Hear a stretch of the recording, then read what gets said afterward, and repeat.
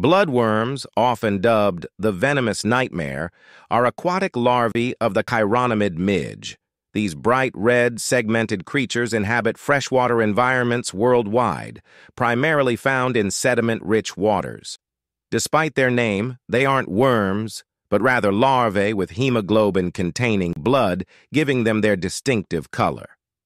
While not venomous to humans, their appearance and nickname stem from their startling appearance and their ability to release an unpleasant defensive secretion when threatened. Bloodworms play a crucial role in aquatic ecosystems as a food source for fish and other aquatic creatures.